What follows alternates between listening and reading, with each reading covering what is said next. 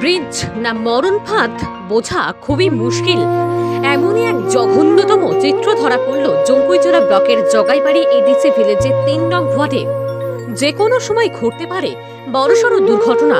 জগাইবাড়ি ভিলেজের নিধান cobra পাড়ায় দেখা গেল এই দৃশ্য। দীর্ঘদিন ধরে এই ব্রিজের বেহাল দশা। হেলদোল নেই দপ্তরে। দারুণ ক্ষোভ দেখা গেছে এলাকা জুড়ে। সরাসরি মুখ না খুললেও ক্ষোভে ফাটছেন এলাকার অসহায় মানুষ। যে কোনো সময় বড় ধরনের আন্দোলনের রূপরেখা দেখা যেতে পারে। এলাকায় হতে পারে রোড ব্লক সহ অন্যান্য কর্মসূচি।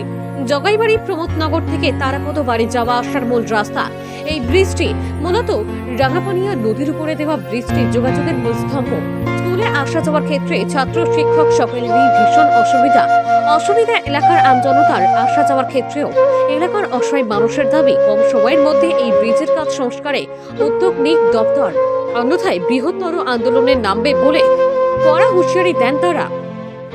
প্রমোদনগর থেকে নিজস্ব বইরা কালকে রাত্রে মানুষ